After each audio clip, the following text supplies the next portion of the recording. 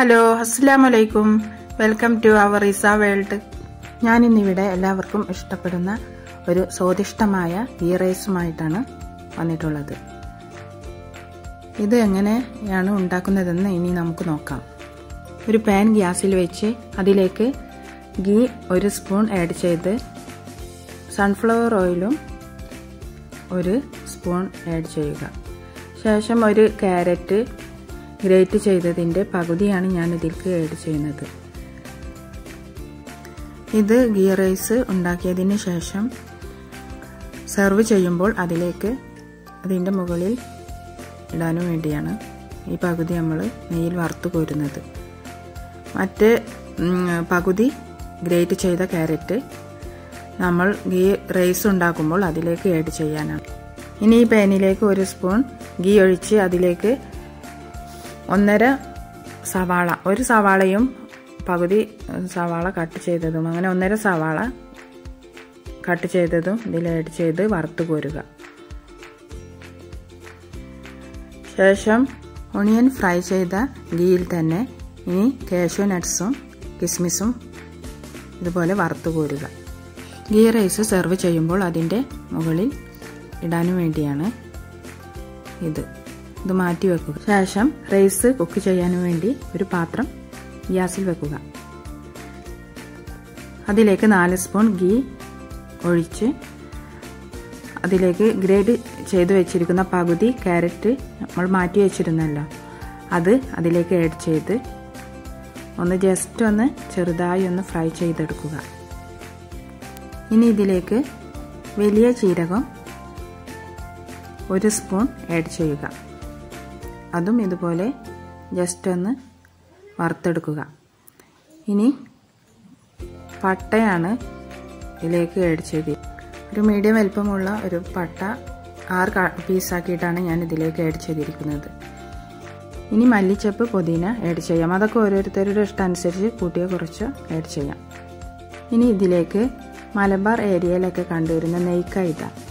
അത് ഗീ റൈസിന് നല്ല ടേസ്റ്റ് കൂട്ടുന്ന ഒരു ലീഫാണ് അത് രണ്ട് ലീഫ് കട്ട് ചെയ്ത് നല്ലവണ്ണം കഴുകി ചെറുതായി കട്ട് ചെയ്ത് ഇതിലേക്ക് ആഡ് ചെയ്യുക. ഇനി ഇത് നല്ലവണ്ണം ഇളക്കി യോജിപ്പിക്കുക. ശേഷം ചെറിയ കഷ്ണം ഇഞ്ചി ചെറുതായി കട്ട് ചെയ്തത് ഇതിലേക്ക് ആഡ് ചെയ്യുക. അതും നല്ലവണ്ണം യോജിപ്പിക്കുക. ശേഷം ഒണിയൻ ഒരു വലിയ ഒണിയനാണ് ചെറുതായി കട്ട് ചെയ്തത് ഇതിലേക്ക് ആഡ് ചെയ്യുക. ഇനി ഇതിലേക്ക് സാൾട്ട് ആഡ് ചെയ്യുക. അത് പെട്ടെന്ന് ഒണിയൻ വയന്ന് കിട്ടാനും വേണ്ടിയാണ് ഇത് ആഡ് ചെയ്യുന്നത്. സവാള വയന്നതിന് ശേഷം ഇതിലേക്ക് റൈസ് ആഡ് ചെയ്യണം. ഞാൻ ബസ്മതി റൈസ് ഒരു കിലോ അരിയാണ് എടുത്തിട്ടുള്ളത്. അത് അരമണിക്കൂർ കുതിർത്തി വെച്ച് നല്ലവണ്ണം കഴുകി വൃത്തിയാക്കി വെള്ളം വാരാൻ വെച്ചതാണ്. അത് ഇതിലേക്ക് ആഡ് ചെയ്യുക. നമ്മളിത് ഒരു പത്ത് മിനിറ്റ് വറുത്ത് എടുക്കണം. എന്നാൽ ഈ അരി നമ്മൾ വേവിക്കുമ്പോൾ പൊട്ടുകയില്ല മുറിഞ്ഞു പോവുകയില്ല.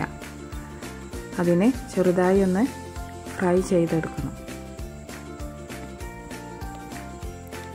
ഇനി ഇതിലേക്ക് വാട്ടർ ആഡ് ചെയ്യണം.